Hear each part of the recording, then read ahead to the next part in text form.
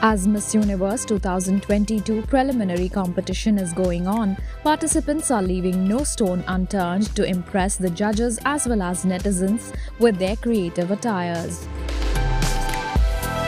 After Miss Universe India Divita Rai, Thailand's Anna Suengam-iam left everyone bedazzled.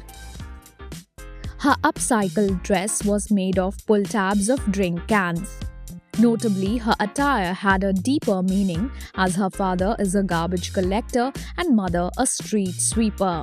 She has also been called the garbage beauty queen, but nothing stopped her from shining bright like a gem. Speaking of her attire, it was a sheer halter neck gown that had Swarovski diamonds and pull tabs of drink cans. This dress was designed by Manirat. Social media is all praises for her outfit, and netizens are already calling her the winner.